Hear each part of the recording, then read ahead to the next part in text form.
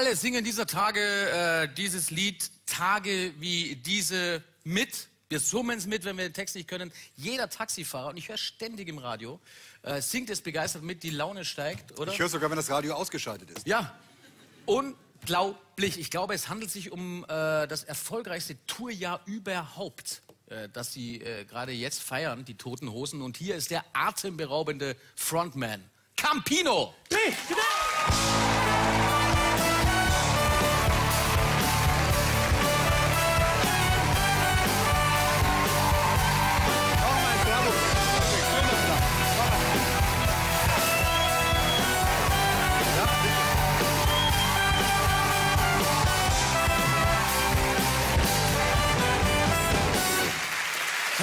willkommen, lieber Campino. Äh, darf ich dir was zu trinken anbieten? Eine Schorle, bitte. Eine ja, Schorle. Schorle, ja. Ähm, Aber du bist so oft in, in Wien eigentlich und in Österreich, dass du doch eigentlich Spritzer, auch... ne? Ja. Hättest du gern. Aber ich habe mich, ich habe gedacht, du als Alt-Düsseldorfer. Ja, damit ich es auch verstehen kann. Ja, genau. ähm, Düsseldorf, das ist ja dein äh, Hausverein. Ja, Ja, Düsseldorf ist, ist jetzt vom Abstieg bedroht, habe ich gelesen. Wir schaffen Ähm, macht dir das die Laune äh, extrem trüb? Also lebst du wirklich so mit mit, dem, äh, mit deinem Verein? Nein, wenn man überlegt, wo wir herkommen, äh, direkt eigentlich aus der vierten Liga, dann ist das äh, immer noch eine gewaltige Höhe, die wir da hingelegt haben. Und außerdem äh, ist die Saison nicht zu Ende. Und äh, die haben guten Fußball gespielt. Ich bin also eigentlich immer Bist- noch ganz gut drauf. Und bist du noch aktiv? Weil ich weiß, dass ihr... Ihr wart ja wirklich äh, quasi teilweise die einzigen Geldgeber noch von Fortuna Düsseldorf. Äh, und ich kann mich Ja, aber erinnern, als... wahr. Ja, es war Damals. wirklich wahr. Ja. In der vierten, ja. Und ich kann mich auch erinnern, dass ihr, auch als sie in der ersten Liga noch waren, dass ihr mal Anthony Buffo gekauft habt, einen äh, wahnsinnig guten Spieler. Und ihr habt gesagt, jeder, der den fault, kriegt es mit euch zu tun. Äh, das ist nicht ganz richtig. Wir waren zweite Liga, sind mit ihm dann nach dem Kauf aufgestiegen Ja. und waren natürlich auch äh, interessiert, dass äh, diese Investition erhalten bleibt und nicht irgendwie durch einen bescheuerten Kreuzbandriss durch andere verursacht dann irgendwo. Naja, manche machen in Aktien, wir haben halt einen Spieler geholt und äh, Äh, lieber Campino, hast du dieser Tage eigentlich Mitleid mit Uli Hoeneß? Oder, oder ist es so, dass du dich freust, dass er sozusagen ausgeliefert wird? es ist immer schade, wenn gute Freunde in so eine Situation geraten.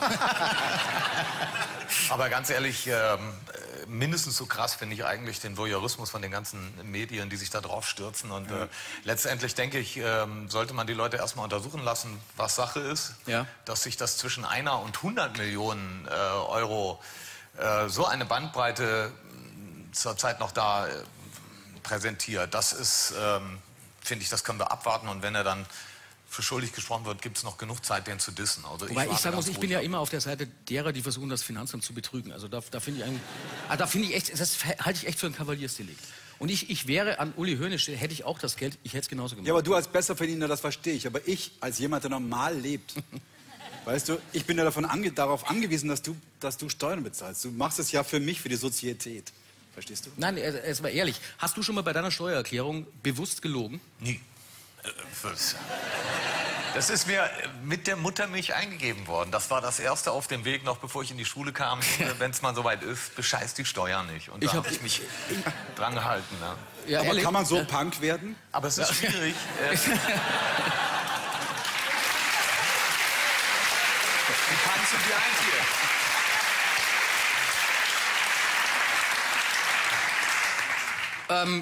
Stimmt es eigentlich, lieber Campino, dass du, äh, habe ich, äh, hab ich gelesen, dass du an deinem Begräbnis als Begräbnissong Je t'aime haben willst?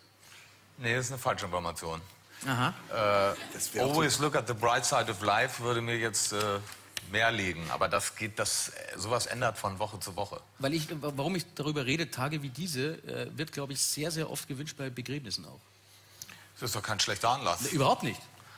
Es hat, my, es hat My Way abgelöst, habe ich, hab ich gelesen. Weiß ich nicht. Ja. Äh, Ja, das, ist- das ist eine totale Auszeichnung für einen Song. Ja, aber My Way ist auch so komisch. Irgendwie, du bist, sagen wir, mal, du bist, sagen wir, du bist Kranführer Ja. oder sowas. Dann stirbst du irgendwie mit 45 Oder- an Leberzirrhose und dann Oder, spielst du My oder Way. Josef Fritzl stirbt. ja, Josef Fritze spielt My Way. I did it my way. Das ist irgendwie auch komisch, oder? Tage wie diese äh, hat extrem eingeschlagen und äh, in eurer, kann man das sagen, zweiten Heimat äh, Argentinien, wo ihr wahnsinnig äh, berühmt auch seid, äh, haben wir einen Ausschnitt, wo, äh, wo du Tage wie diese auf äh, Spanisch singst. Spanisch versuchst, auf Spanisch versuchst. Ist es ein Versuch? Ich kann nicht Spanisch. Es, es klingt gut und es sieht gut aus. Darf ich kurz einen Ja, Ausschnitt ja, zeigen? gerne. Äh, die Toten Hosen in Argentinien. Aber du bist fast nackt, ich, vielleicht willst du es nicht. Ich habe da kein Problem mit. Ja, kann ich auch verstehen, warum er kein Problem damit hat. Der Mann hat echt einen guten Körper, schauen Sie selbst. Sono fuerte, ya estamos listos, ya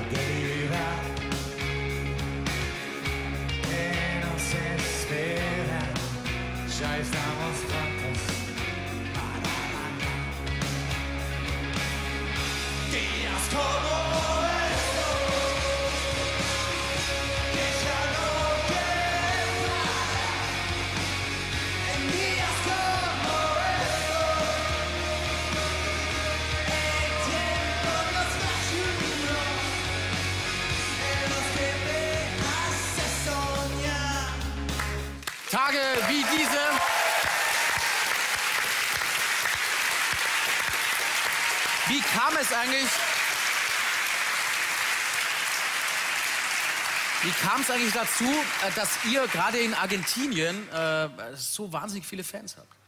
Ja, es hat mehrere Gründe. Ich glaube, Anfang der 90er Jahre waren wir das erste Mal da, kurz nach dem Zusammenbruch der faschistischen Diktatur da. Da gab es für die Amerikaner nichts zu verdienen. Die Engländer waren nicht beliebt, Falklandkrieg und so weiter. Und da hat denen das nichts ausgemacht, dass eine Band irgendwo sonst wo aus Europa kommt. Und ähm, die haben sich dann in uns verliebt und wir haben uns in die verliebt. Das war irgendwo so eine Sache, die hat einfach gesessen.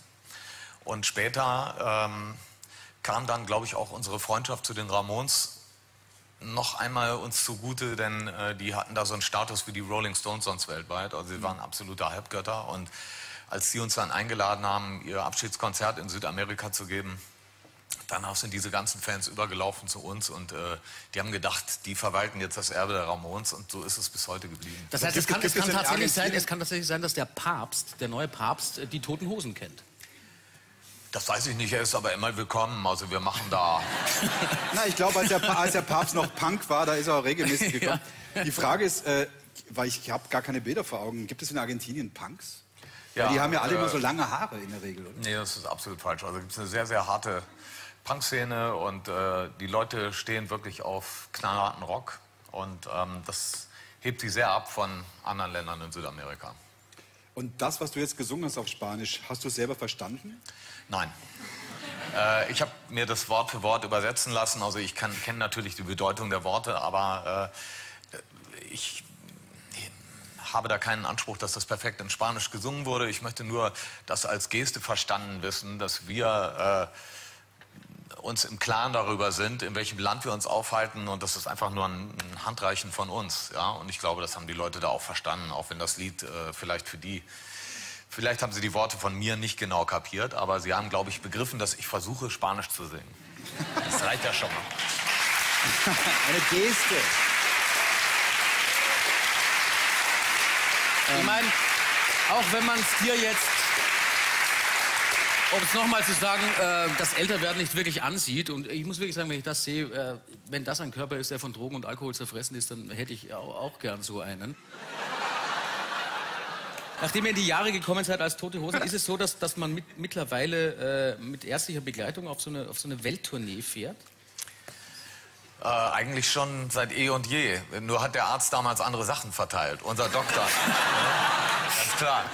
Aber ähm, ich glaube, da ist jetzt nichts Ehrenrühriges dran, dass wir äh, jemanden haben, der äh, uns aufwärmt und der sich kümmert, wenn man irgendwo eine Prellung hat oder sonst was, äh, dass das äh, dann abends auskuriert wird oder dass er irgendwelche Kühlbeutel auf die Knie legt. Wir können uns nicht so austauschen wie eine Fußballmannschaft. Bei uns gibt es kein Rotieren. Äh, wenn du da 50, 60 Abende innerhalb von zwei, drei Monaten hinlegen musst, dann ähm, musst du irgendwie fit gemacht werden. Wem sagst du das? Aber ich, Ja. ich meine, der Unterschied zu uns ist ja, wir als Kleinkünstler stage-diven praktisch nie.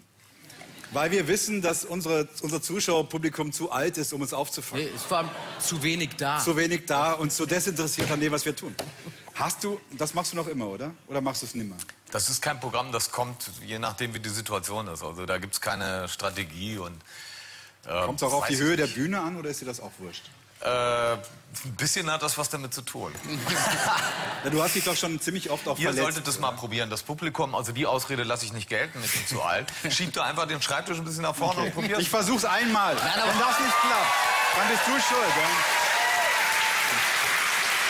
Wie macht man das? Ja, was? Das, das heißt, wie Also wie geht's? das? Ich weiß es echt, ich hab's noch nie gemacht. Ja, du musst aber dich auf den... Ja. jetzt? Sicherheitsgraben überspringen. Okay. Das heißt, jetzt springen oder was? Naja, auf den steigen darauf. erst. Da drauf springen, da komme ich nicht hin. Kann ich es ein bisschen näher schieben? Ja gut, mach so. Sagen wir, wir haben keinen Graben. Was ja? auch fair wäre. Seid ihr bereit? Seid ihr bereit? Oh no.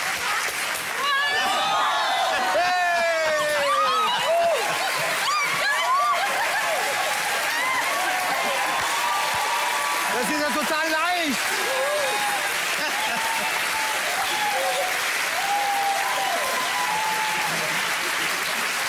Ah! Wow!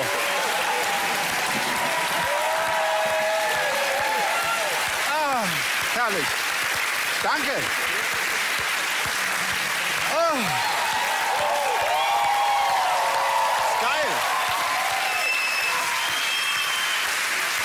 Oh, Sehr gut. das ist super. Also ich verstehe dich jetzt. Ja, Das Gefühl. Es ist echt toll. ja mach das. Aber wir haben auch ein erstens unglaublich geiles und unglaublich sympathisches Publikum. So geht's mir jeden Abend. Ja. Aber diese kleine, feine Geste, ich bin einer von euch, Ja. das hast Ja. du heute ganz toll gemacht. Aber, was, aber Campino.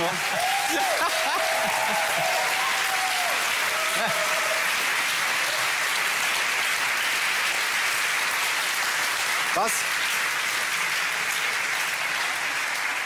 Was machst du? Ich habe jetzt so viele Telefonnummern zugesteckt bekommen. Was mache ich jetzt damit? Was machst du mit denen dann? Ich werfe die immer alle weg, ist doch klar. Da ist man Profi, aber in dem Moment muss man es ja nicht sagen. Ich gebe sie dem Christoph. Aber stimmt das eigentlich, das, was man sich, das, was man sich über, über Punks sagt, dass die tatsächlich sehr asexuell äh, äh, gelebt haben? Das, ist, das Groupie-Tum bei Punks äh, gab es nicht. Sexuell ist Quatsch, aber es gab keine Groupies. So. Das, Ja. das war verpönt. Also man hat gevögelt, aber auf Augenhöhe. Ja? Also,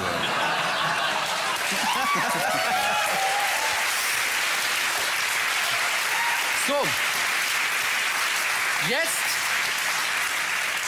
spielen wir, äh, ist glaube ich auch auf Ballast der Republik drauf, das neue, der neue Song, das neue Video von den Toten Hosen draußen vor der Tür. Ja. Ein äh, kleiner Ausschnitt vom äh, neuen Song. Ich wollte nie so sein wie du und wie du denkst. Heute merke ich immer wieder, wie ähnlich ich dir bin. Zum Glück war es damals nicht zu spät. Wir haben uns verziehen, der Wind hat sich gelegt. Das ist alles so lange her, so unendlich weit weg. Doch es fällt mir nicht schwer, mich zu erinnern, wie es beim letzten Mal war, als wir uns noch sahen, da draußen vor der Tür. Die Toten Hosen draußen vor der Tür.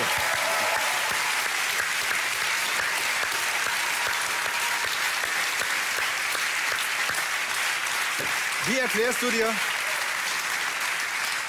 Ihr, ihr, ihr habt gefeiert äh, letztes Jahr, glaube ich, das 30-jährige Bestehen. Und das war noch nie so erfolgreich wie jetzt. Wie erklärst du dir ähm, diese noch volleren Hütten, die schon nicht mehr voller sein konnten? Wie, wie, wie, wie? Hast du einen Tipp für in die Jahre gekommene Kleinkünstler wie Bei uns? Tote Hose ist wirklich interessant. Die Alten bleiben dabei, aber es kommen ständig Junge nach. Ihr müsst einfach nur durchhalten. also ich, ich weiß es nicht. Ich, wir haben uns das nie gefragt. Ich äh, glaube, da gibt es auch, da gibt's auch nichts zu analysieren. Also äh, man macht keine Musik für ein Zielpublikum. Man überlegt sich nicht, wie kann man einen Treffer landen, sondern äh, wir versuchen einfach ähm, das zu schreiben aus unserer Sicht, was angesagt ist. Wir machen Platten so, wie andere Leute Tagebücher schreiben. Und äh, manchmal trifft man den Geschmack der Leute, manchmal eben nicht so sehr.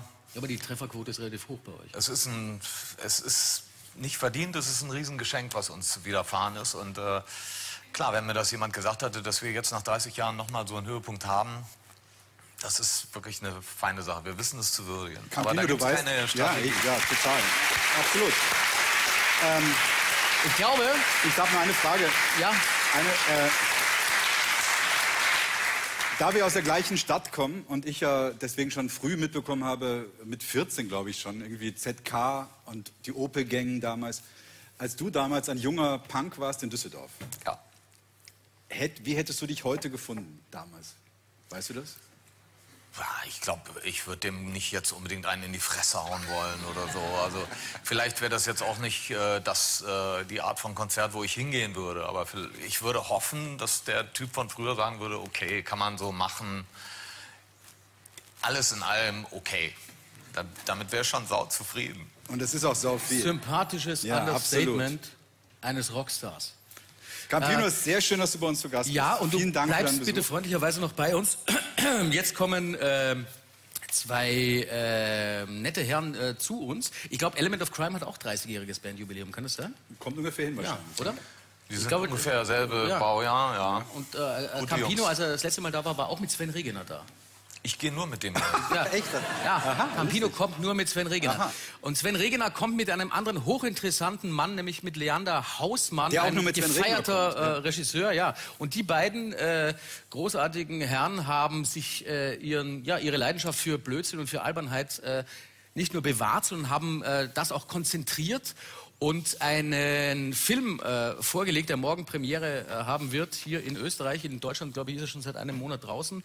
Sehr, sehr erfolgreich. High Alarm am Müggelsee heißt das. Eine äh, groteske Komödie, eine Farce. Und der Film ist so gut, dass wir die Macher dieses Films selbstverständlich gerne einladen. Bitte äh, freuen sich über den Besuch zweier sympathischer Brillenträger. Leander Hausmann und Sven Regener.